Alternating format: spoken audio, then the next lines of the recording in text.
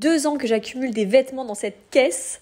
Suis motivée, je vais tous les jours choisir un vêtement et le recycler pour en faire un nouveau. Aujourd'hui, c'est tombé sur cette robe Bratz qui est clairement en taille enfant comme vous pouvez le voir. Je peux même pas vous montrer le dos tellement c'est court et l'emmanchure me faisait tellement mal les gars, c'est tellement petit. J'étais pas grave inspirée donc je me suis dit je vais déjà commencer à couper le haut en sorte de tube et couper une jupe. Pendant que je coupais illumination, j'ai trouvé l'idée, je vais rajouter des bouts de jeans, des anciens jeans que je mettais plus et j'avais du coup coupé la ceinture. Mon idée c'est donc de venir rajouter ces bouts de jeans en ceinture pour la jupe et en haut pour le et top. Et ensuite j'ai enchaîné avec la couture. J'ai d'abord fait des finitions clean pour que ce soit tout bien propre. Par contre, qu'est-ce que je déteste coudre le jean? C'est tellement épais, ça m'énerve. Bref, voilà, j'ai cousu, j'ai cousu et vous êtes pas prêts pour le résultat. C'est beaucoup trop beau. je suis trop contente. Ça fait vraiment un petit ensemble année 2000. J'ai tellement hâte de porter ça cet été. Franchement, c'est trop beau. Dites-moi ce que vous en pensez.